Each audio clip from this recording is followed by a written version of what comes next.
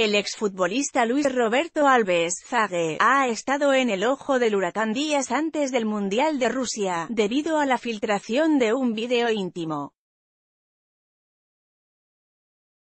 Tras lo ocurrido el exjugador del América ha decidido darle vuelta a la página y luego de pedirle perdón a su esposa apareció en un video junto al escoripón dorado.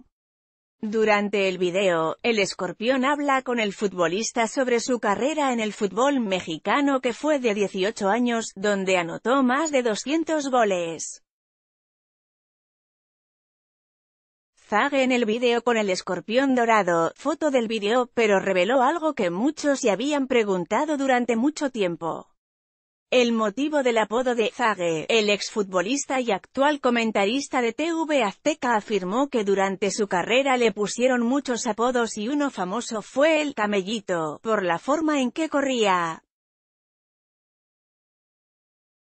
El apodo de Zage viene por su padre, José Alves, que también era llamado el Lobo Solitario, y a él se le conoció como Zaguiño, por ser su hijo.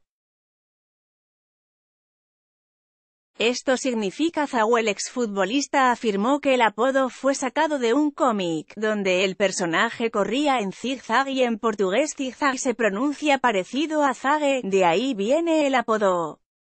También dijo que en Brasil es una tradición el uso del apodo y la mayoría de los futbolistas cuenta con uno. En esta nota, Luis Roberto Alves, Zague, entrevista Escorpión Dorado.